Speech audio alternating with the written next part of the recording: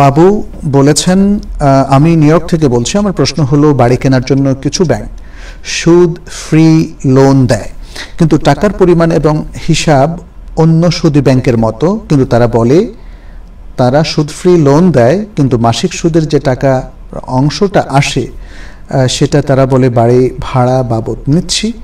তারা আরও বলে, আপনি যদি কখনো বাড়ি কিস্তি দিতে পরপর তিন মাস ব্যর্থ হন, তাহলে আমরা কখনো বাড়ি থেকে নামাবো না এবং যত প্রকার সাহায্য সহযোগিতা বাড়ি বিক্রি করার জন্য লাগে তারা তা করবে। এমত অবস্থায় এই ধরনের ব্যাংক থেকে টাকা নিয়ে বাড়ি কেনা যায় কি না টাকা নিলে কি সুদের অন্তর্ভুক্ত হবে? যদি সহি হাদিস বা পবিত্র কোরআনের আলোকে বলতেন তাহলে খুবই উপকৃত হতাম। এ ব্যাপারে সহি হাদিস এবং কোরআন তো স্পষ্ট। আল্লাহ তাআলা বলছেন, দারু মা বাকিয়া মিনার রিবা। রিবার যা কিছু আছে তোমরা সব বর্জন করো বর্জন করো। এরপরে আল্লাহ তালা আরও বলছেন ওয়াহাল্লাহুল বাইআ ওয়া হাররামার রিবা। আল্লাহ তালা বেচা কেনাকে হালাল করেছেন, কিন্তু সুদকে হারাম করেছেন। এবং তিনি আরও বলেছেন ইয়াম হাকুল্লাহুর রিবা ওয়ুরবি সাদাকাত। আল্লাহ রিবাকে মিটিয়ে দেন একদম, ধ্বংস করে দেন, কিন্তু সাদাকাতকে বাড়িয়ে দেন।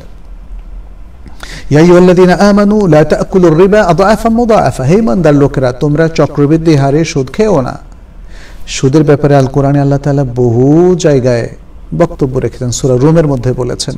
সূরা আল ইমরানের মধ্যে বলেছেন। সূরা আল মাইদার মধ্যে বলেছেন। সোরা আল বাকারার মধ্যে বলেছেন। আর রাসূলুল্লাহ সাল্লাল্লাহু আলাইহি সাল্লাম সুদ যারা খায়, সুদ যারা খাওয়ায়, অর্থাৎ দেয়, সুদ যারা লিখে, সুদের সাক্ষী যারা হয়, তাদেরকে লায়নাত করেছেন জাবির ইবনে আব্দুল্লাহ রাদিয়াল্লাহু তাআলার হাদিস সহিহ মুসলিমের মধ্যে।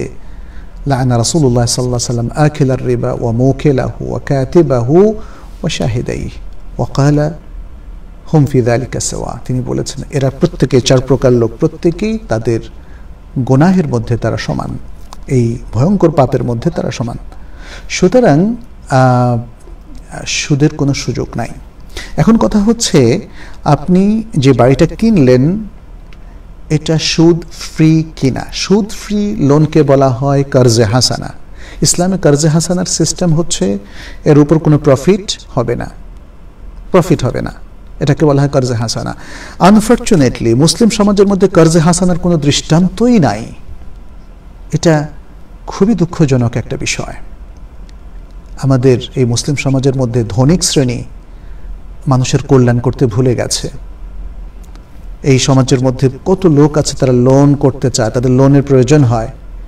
কিন্তু যে লোনটা সওয়াব শুধু আল্লাহর কাছ থেকে নেব, বান্দার কাছ থেকে কিচ্ছু নেব না, এই ধরনের লোনের ব্যবস্থা মুসলিম সমাজে নেই বললে চলে। জানি না আমাদের অজান্তে হয়তো কোনো কোনো ভাই বোনেরা সে কাজটা করে না, আমাকে কেউ কেউ বলেছেন করেন, কিন্তু সেটা ভেরি স্মল স্কেলে তারা করেন। কিন্তু আমরা প্রাতিষ্ঠানিকভাবে চাই যে এরকম কিছু হোক। এখন কেউ যদি লোন দিয়ে কোনো বেনিফিট নেয় তাহলে সেটা সুদ হবে। লোন দিয়ে বেনিফিট নিলে এবং শর্ত করে নিলে, সাধারণত নিলে তো শর্ত করেই না লেখাপড়ায় তো শর্ত করে না নিলে তো কেউ দেবে না। সুতরাং এটা সুদ হবে কারণ একটা আম কায়দা আছে কোরআন হাদিসের এই বক্তব্যগুলো থেকে, কুল্লু কারদিন জাররা ফাহুয়া এটা কায়দা, এটা হাদিস না। যে যে সকল লোন বা করজ, ঋণ কোনো মানফাত নিয়ে আসে, কোনো বেনিফিট নিয়ে আসে, তাহলে সেটা রিবা হিসেবে গণ্য হবে। আচ্ছা তাহলে লোন দিয়ে কোনো মানফাত অথবা বেনিফিট নেওয়া জায়েজ নাই। এখন সেরাই পদ্ধতিতে তাহলে কীভাবে আপনি অন্যদের সাহায্যে বাড়ি কিনতে পারেন? হ্যাঁ তার কিছু পদ্ধতি আছে, যেমন আমি একটা বাড়ি নগদ ক্যাশ দিয়ে কিনে আপনার কাছে কিস্তিতে বিক্রি করতে পারি।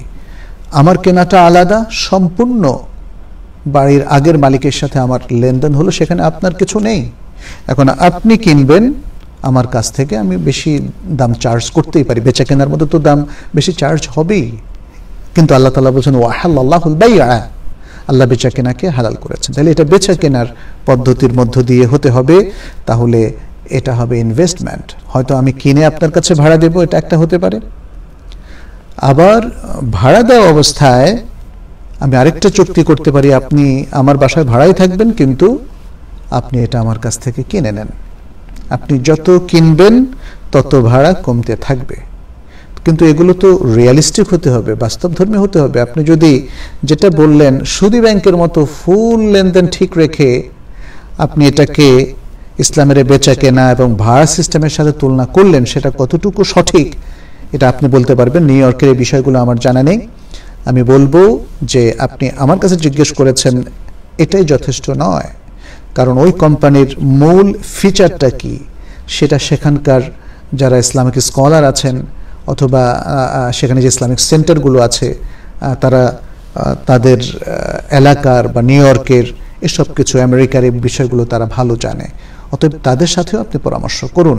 কারণ সাহেবুল বেইতি আদরা বিমাফি যে ঘরের মানুষই সেই ঘরের মধ্যে যা আছে সেটা সম্পর্কে বেশি জানে।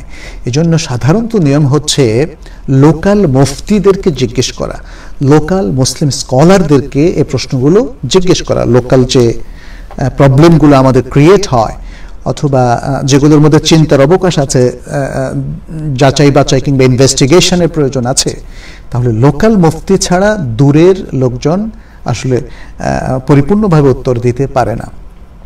কিছু গ্যাপ থাকার কারণে এই জন্য শেখ বিন বাজ রাহমাহুল্লাহ আমাকে আমাদের অনেক শাইখরা বলেছেন, যারা সরাসরি তার কাছ থেকে অনেক কিছু জিজ্ঞেস করে উত্তর নিতেন, তারা বলেছেন, শেখ বিন বাজ রাহমাহুল্লার কাছে যদি বিদেশ থেকে কেউ এসে প্রশ্ন করতেন এই ধরনের যে জিনিসগুলো তার এলাকার জিনিসের সাথে জড়িত, সেগুলোর উত্তর তিনি লোকাল মুফতিদের থেকে নিতে বলতেন, এবং এটাই নিয়ম।